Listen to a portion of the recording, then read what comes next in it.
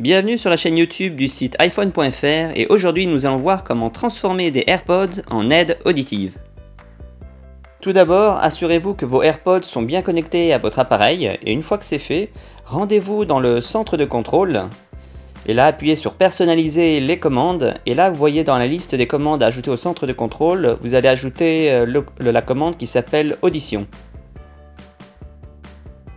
Accédez maintenant au centre de contrôle et là vous voyez le raccourci audition, appuyez dessus et voyez que vous avez la possibilité de transformer les AirPods en aide auditive. Appuyez sur écoute en temps réel et cela va vous permettre d'utiliser le micro de l'iPad ou de l'iPhone pour mieux entendre une personne qui parle dans un environnement bruyant en relayant le son du micro vers les AirPods.